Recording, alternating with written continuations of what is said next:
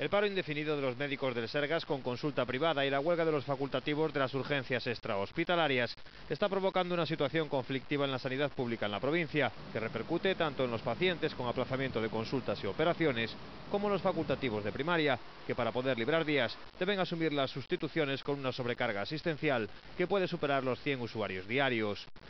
Por este motivo, el Consejo de Colegios de Médicos de Galicia ha pedido a la Administración que comience cuanto antes la negociación con los sindicatos para la generalización de la percepción del complemento específico, que cobran ahora quienes trabajen en exclusividad en la sanidad pública, para que pasen a cobrarla entre todos sus facultativos.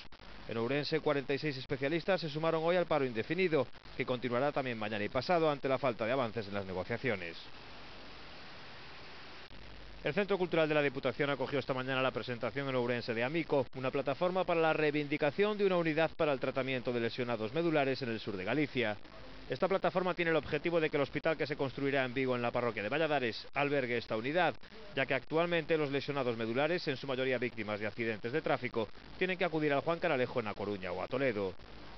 O principal objetivo é reclamar e reivindicar que o novo hospital a construir na zona sur de Pontevedra conte con unha unidade de atención a lesionados medulares.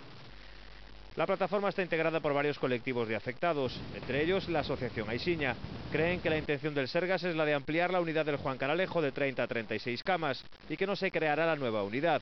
Por eso han creado esta plataforma reivindicativa con tiempo por delante, ya que el nuevo Hospital Vigués estará terminado en 2012.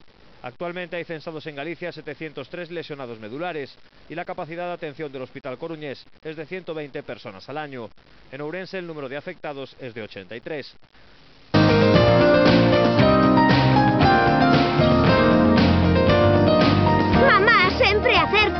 Para min acertar é fácil, sempre elixo Abril.